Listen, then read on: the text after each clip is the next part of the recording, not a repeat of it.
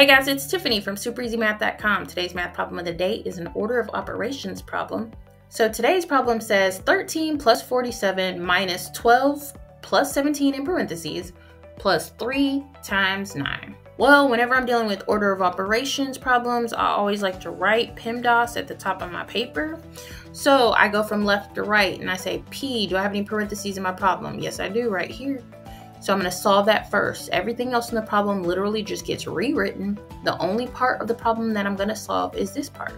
So 13 plus 47 minus what's 12 plus 17 is 29. So write 29 instead of that part. Plus 3 times 9. Now I'm going to check to see if I have any more parentheses. Nope. Now I'm on to exponents. Do I have any exponents? Nope. Do I have any multiplication or division? They work together, okay? You can work on either one at the same time. And I go from left to right in my problem, and yes, I do. It's way down here at the end.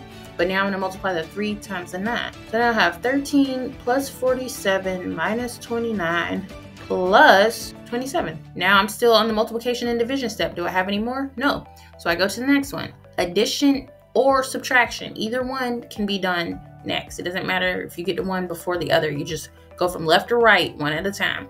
So that means because I see I have addition, subtraction, addition left, I'm going to do all of these in order from left to right. So the 13 plus 47 gives me 60. And then I'm just going to bring down the minus 29 plus 27. Now I'm going to solve just this part.